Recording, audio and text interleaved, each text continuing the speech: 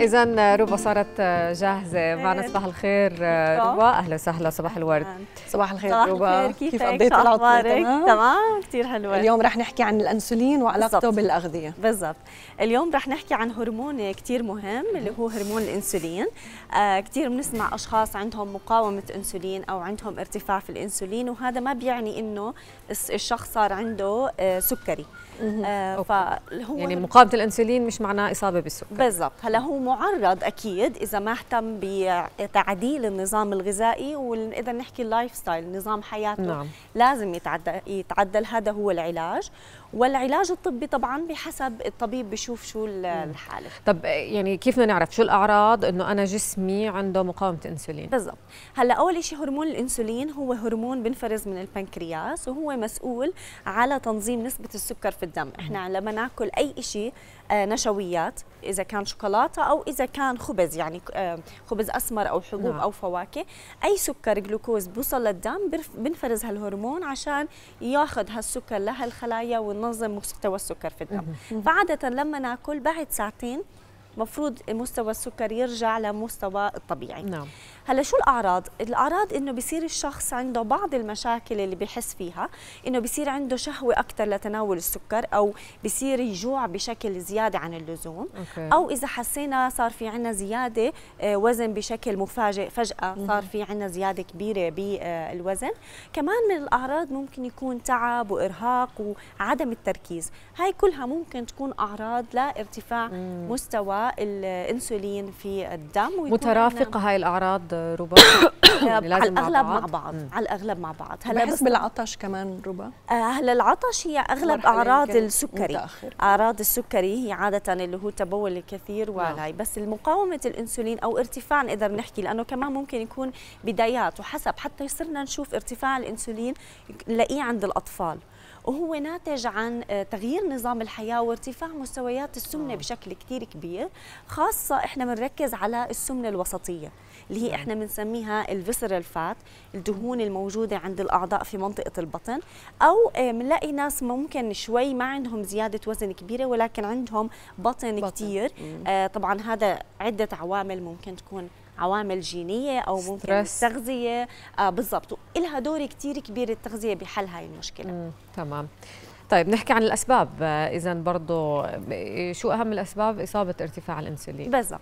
هلا في عنا آه، أول شيء السمنة والسمنة الوسطية ممكن يكون دليل على آه، اللي هو تكيس المبايض اللي صرنا نشوفه عند كثير من السيدات. يرافقها عادة ارتفاع مستويات هرمون الإنسولين ومقاومة الإنسولين. نعم. آه، فهاي عنا أكثر شيء كمان عنا الحياة اللي بدنا نحكيها الخمول الشخص اللي ما بتحرك هلا بما إنه هذا هرمون وهذا الهرمون وظيفته ينقل السكر بس إذا ضل مستويات السكر عالية والإنسولين كثير عالي بنسميه إحنا لايبوجينيك هالهرمون. شو يعني؟ يعني بخزن هالدهون.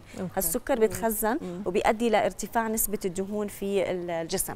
فإحنا بدنا يصير في عندنا تنظيم لهي الحالة ونصير نخلي العضلات تستجيب أكثر للإنسولين. فعملية إنه إحنا نزيد الكتلة العضلية ونقلل من خل... من الدهون بالنظام الغذائي والرياضة. فالرياضة كثير بتساعد بتساعد بشكل كتير كبير. يعني أي حدا عنده تكيس مبايض مشاكل في مقاومة الأنسولين التغذية لها دور كتير كبير نقدر نحكي 60 70% بس برضه الرياضة لها من 30 ل 40% ومرات بترافقوا 50 50 يعني في حالات عن جد بكون واحد من الأسباب. نعملها تنظيم بتنزل وزن آه، بتحسن مستويات الإنسولين. بس بكون في عندنا مشكلة إنه نظام الحياة قاعدة على المكتب ست سبع آه. ساعات. بيرجعوا في آه، نوم. ما طب اذا هلأ خلينا نحكي عن النظام الغذائي السليم. بالضبط. هلا أول شيء بدنا ننبه عليه إنه الشخص إذا عنده ارتفاع في الإنسولين هذا لا يعني إلغاء النشويات تماما. هاي من الأشياء الخاطئة مم. جدا. بدنا نغير بنوع النشويات اللي إحنا بنتناولها عشان شو بدنا نعمل؟ بدنا نحاول هالمستويات الإنسولين ما ترتفع بشكل كثير سريع. مم. هذا اولا. وثاني شيء بدنا نساعده إنه نخفض الإنسولين نزيد الحركة نوعين من الرياضة الرياضة الهوائية والرياضة اللي بنقدر نحكي السترينث اللي هي بتقوي العضلات. نعم. فشو بدنا نعمل؟ بدنا نحاول مثلا تبدا تبديلات بسيطة إنه إحنا حتى بأنواع الفواكه نحاول ما نختار الفواكه مثلا زي الفواكه المجففة تكون بكميات كثير كبيرة إذا نختار فواكه ال- مجففة نخفف نخفف منها لا آه. بأول مرحلة إذا كان الإنسولين كثير عالي ممكن نروح للفواكه اللي ما بترفع نسبة السكر في الدم بشكل كثير كبير مم. زي الذراء التفاح الإنجاص الموز حتى ممكن إذا بدنا. ممكن بالضبط الأخضر ما بيرفع السكر في الدم بشكل كثير كل ما كبير يكون مستوي أكثر كل ما نسبة السكر فيه أعلى بالضبط بتكون نسبة السكريات فيه كتير كبيرة. حتى حبة الموز الكبيرة تعتبر حصتين فاكهة ممكن ناخذ الموز الصغيرة. بس إحنا أول إشي من أنواع الفواكه نركز على تفاح إنجاز ذراء مشمش هدول كلهم آه، مش كتير بيرفعوا مستويات الأنسولين بشكل كتير كبير. تمام. كمان نعمل تبديلات كتير بسيطة بأنواع النشويات الأخرى. آه، في عنا الخبز الأبيض آم، آه، في ناس بيفكروا خلص كلمة توست إنه هذا صحيح. إيش مكان الخبز إنه هذا للرجيم. خبز التوست هلا فيه حليب وفيه سكر فيه كميات سكر عشان هيك منفوش زيه زي خبز الحمام.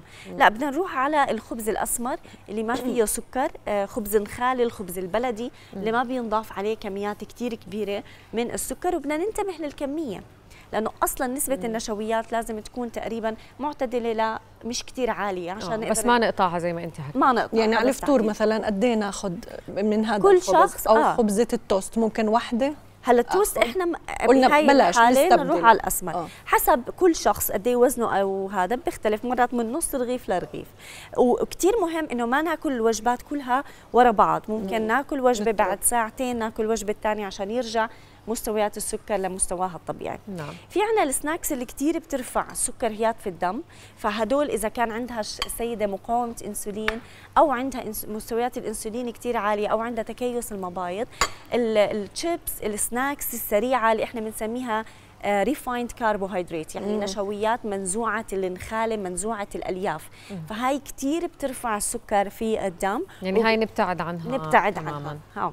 تماما يعني ولا نتفه هلأ إذا حسب الحالة إذا للي كان الشخص عنده. مشكلة كثير كبيرة يفضل بأول مرحلة يكون ما يكون حتى طيب يومي هاي سريعا شوي توقيت. الطعام قديش آه، مهم؟ كثير بيأثر. آه الأول شيء ما ناكل آه بدنا ناكل عدة وجبات ولكن كمان مش كل ساعة نضلنا ناكل لأنه بدنا نخلي هالإنسولين آه نعطيه مجال آه يقدر آه ياخذ هالسكر ويوديه للخلايا. مم. ناكل وجبة بدنا ناخذ سناك ممكن بعدها بساعتين ساعتين ونص. أوكي. وكمان ما نتناول كل السكريات كلها تكون ورا بعض. يعني نعم. إذا أخذنا خبز مش مباشرة بعده الفواكه نعطي مجال لا آه، نحط snacks مثلا مش فيها نشويات. يعني ممكن ناخذ الخبز بعدين ناخذ بعدها بساعتين سناك تمام. من لبن.